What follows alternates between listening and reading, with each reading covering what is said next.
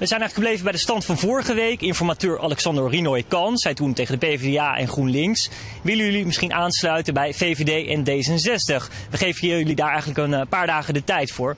Nou, is er nu wat veranderd of niet? Ik sprak daarover met Jan Paternotte van D66 en Rutger Grootwassink van GroenLinks. Alexander Rinoy Kan heeft uh, PvdA en GroenLinks gezegd van uh, denk nog eens na of je echt niet inhoudelijk het gesprek aan wil gaan. Nou, daar zijn ze druk over aan het nadenken geweest. Hebben ze maandag in de fractievergaderingen ook nog over gesproken. Uh, ik heb vanmiddag nog een paar laatste gesprekken. En daarna zal ik bekendmaken wat we nu gaan doen.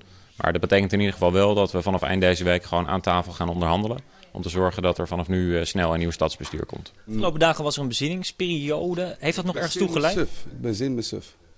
Gaat er gepraat worden met D66 en de VVD? Uh, nou, ik praat altijd met iedereen. Ja, dus... Maar u hield vorige keer, zei Alexander Rinoy Kan, helemaal vast aan de PvdA. Nee, dat is, dat is volgens mij niet helemaal waar. Maar volgens mij praat ik altijd met iedereen. En uh, nou, we gaan kijken wat uh, de nabije toekomst ons brengt. Volgens mij is het niet verstandig om dat tegen AT5 van alles te roepen. Volgens mij ben ik gewoon aan het nadenken en dan komen we heus ergens. Ja, komen we heus ergens, dat zei Rutger Grootwassink. Maar het is nog, nog, uh, vooralsnog onduidelijk. Gaat GroenLinks nou praten met de VVD en D66? Als je kijkt naar zijn lach, zou het zomaar kunnen. Morgen hoogstwaarschijnlijk meer duidelijkheid. VVD en D66 gaan die nu met de SP of misschien toch met GroenLinks erbij of misschien toch wel de PvdA. Morgen dan uh, een vervolg, want het is ja, spannend deze formatie.